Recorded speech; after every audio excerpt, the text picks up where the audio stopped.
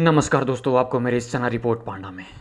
दोस्तों, आज की इस वीडियो के माध्यम से मैं आपको बताऊँगा, पोस्ट ऑफ़िस अपने ग्राहकों को NSC national saving certificate scheme के तहत पाँच साल में आपको उनतीस लाख रुपया दे रही है सीधे सीधे आपके खाते में। तो दोस्तों, मैं आपको फटाफट बता देता हूँ कि पोस्ट ऑफ़िस एनएससी स्कीम में कौन लोग निवेश कर सकते हैं, क्या है इसका क्राइटेरिया कैसे इस स्कीम को ओपन करें? मिनिमम कितना रुपए से इस स्कीम को स्टार्ट कर सकते हैं और मैक्सिमम कितना? कितने साल के लिए, कितने साल के बाद मैच्योरिटी पूरा होगा? क्या इस स्कीम में पैसा जमा करने पर टैक्स में बेनिफिट्स मिलेगी कि नहीं मिलेगी? Post office N S C scheme 2023 के ऊपर अभी कितना इंटरेस्ट रेट मिल रहा है फ्रॉम एक जुलाई से? Post office N S C scheme को लेने के लिए क्या डॉक्यूमेंट्स देना होगा? दोस्तों, post office national saving certificate N S C scheme 2023 से जुड़ी। तमाम जानकारी मैं आपको बताऊँगा इस वीडियो के माध्यम से। और दोस्तों, वीडियो में आगे बढ़ने से पहले अगर आपने अभी तक मेरे इस चैनल रिपोर्ट पांडा को सब्सक्राइब नहीं किया है तो प्लीज़ कर ले, ताकि मैं इसी तरह का इन्वेस्टमेंट से रिलेटेड वीडियो लेकर आता रहूँ। तो दोस्तों, चलिए जानते हैं post office national saving certificate N S C scheme 2023 के बारे में।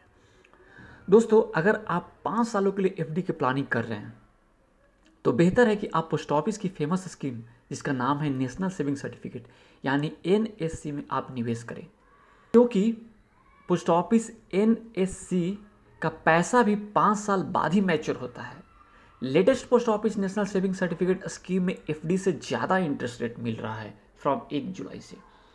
इसमें पैसा पूरी तरह से सुरक्षित है और इसमें जमा राशि पर सरकार की तरफ़ से गारंटी मिलती है। इसलिए post office N S C scheme दो हज़ार तेईस में अगर आप पैसा निवेश करते हैं पाँच साल के लिए। तब आपको पोस्ट ऑफ़िस देगा उनतीस लाख रुपया सीधे सीधे आपके खाते में।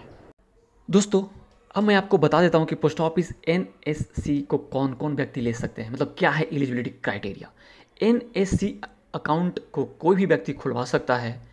दोस्तों एनएससी में मिनिमम आपको थाउज़ेंड रुपये से आपको स्टार्ट करना है। उस उसके बाद हंड्रेड के मल्टीपल में एनएससी सर्टिफिकेट खरीद सकते हैं और इसमें मैक्सिमम निवेश करने की कोई भी लिमिट नहीं रखी गई है। आपके पास जितना पैसा है, आप उतना इसमें मैक्सिमम जमा कर सकते हैं। इस स्कीम में निवेश किए गए पैसों को पाँच साल के पहले आप विड्रॉ नहीं कर सकते हैं। एन स्कीम का मैच्योरिटी पीरियड पाँच साल का है।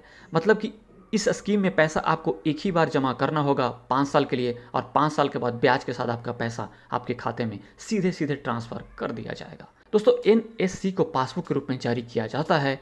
एनएससी के इशू को किसी अन्य व्यक्ति को ट्रांसफ़र भी आप कर सकते हैं। हालाँकि ऐसा इसके मैच्योरिटी होने से पहले केवल एक ही बार किया जा सकता है।